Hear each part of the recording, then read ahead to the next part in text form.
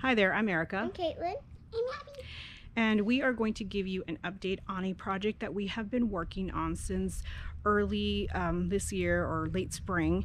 And what it is is we have a flower bed on the side of our house that we haven't really worked on very much um, but this year we decided to tackle it and we pulled weeds. We um, put some weed barrier down fixed our irrigation system and mulched the flower bed. And so we have added some plants um, our goal is to uh, have it full of perennials so it comes back every year. And that way pollinators can enjoy it just as much as we do. Uh, so one thing that we want to mention is that we have had extreme weather here in Idaho. Um, we have been in the hundreds for what feels almost a month now. Um, so our, our, garden took it really hard and some of the plants did die um, and now they're on their second bloom. bloom. So uh, we're going to go ahead and show you some of what we have right now. So here we have the uh, rose campion. Um, this is a plant that we mentioned earlier. We are going to be moving. Um, this is not the best spot for it, um, but um, it is a beautiful color that blooms here. And what do we have here, Abby? We have a whirling butterfly. The reason why they're called whirling butterflies is because they look like butterflies. So the other name you might know these by is Gaura. And so we picked up two of those for this side of the flower bed. And then we have another one that we'll show you later. And we have the Diamond Frost Euphorbia by Proven Winners here. We had uh, three plants last year that got accidentally pulled.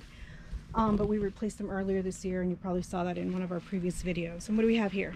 This is a purple butterfly bush. Yep.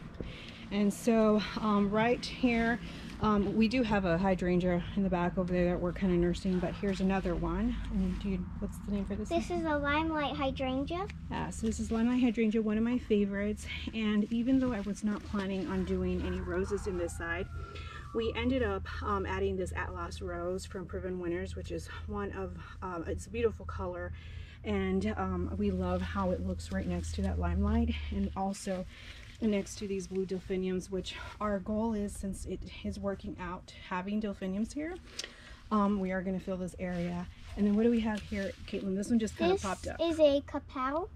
Yeah so we thought it was some of the echinacea coming back from last year but um, it's a kapow plant that we planted here and I guess it came back. None of the echinacea did except for one back there. But um, these are the columbines.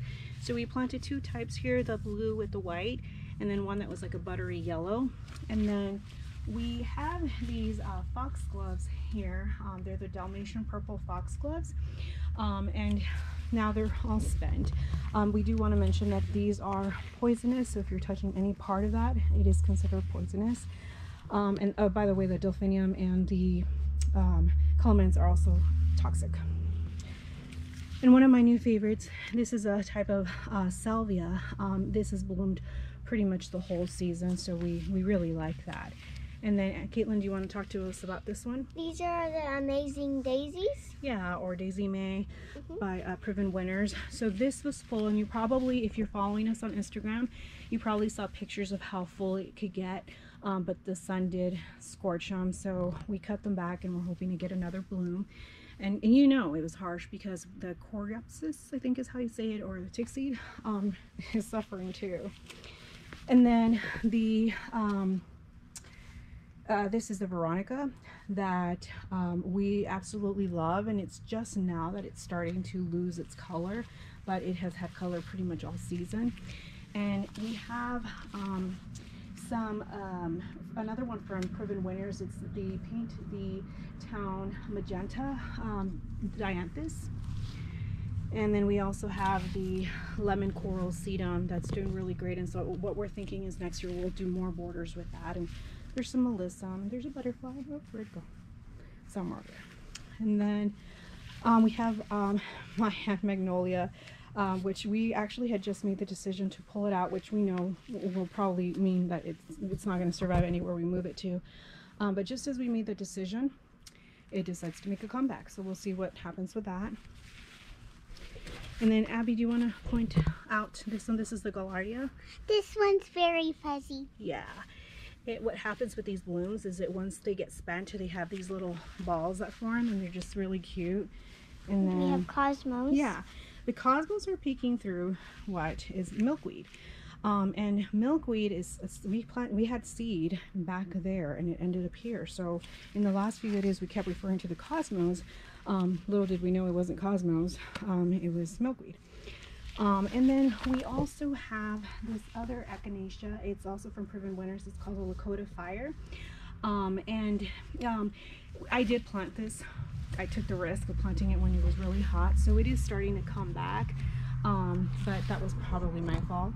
Uh, clustered bellflowers here and then we have the grass that we split in two and then we have the lantana. This is called um, I think is it bandana bandana red lantana. Um, and then we have a purple clematis. And Jake's favorite the Russian sage um, where it's being corralled by the red um, um, and we have some alyssum down there and we have um, a Stella Day lily. And our goal is to put more of the Rudbeckia to corral this. Um, pollinators love it, just like they love the red valerian, which has done really good. Had I cut it down, it probably would be doing better.